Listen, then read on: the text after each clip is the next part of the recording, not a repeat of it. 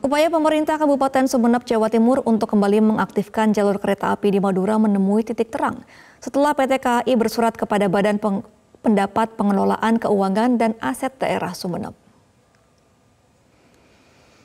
Surat dari PT KAI seolah menjadi titik terang bagi warga Sumeneb yang sejak lama mendambakan reaktivasi jalur kereta di Madura untuk memudahkan akses bepergian. Bupati Sumeneb Ahmad Fauzi mengatakan Pemkap Sumeneb akan segera menindaklanjuti inventarisasi aset KAI agar tahap selanjutnya bisa segera dilakukan. Dengan adanya reaktivasi jalur kereta api, diharapkan akan memperlancar laju transportasi yang pastinya akan berpengaruh pada kemajuan perekonomian Madura. Saya sebelum ke sini, KAI sudah bersuratan ke BPKAD.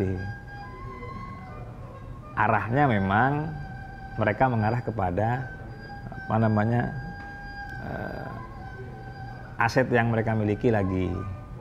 Ya mereka data ya mungkin dengan adanya kereta api bisa menjadi efisiensi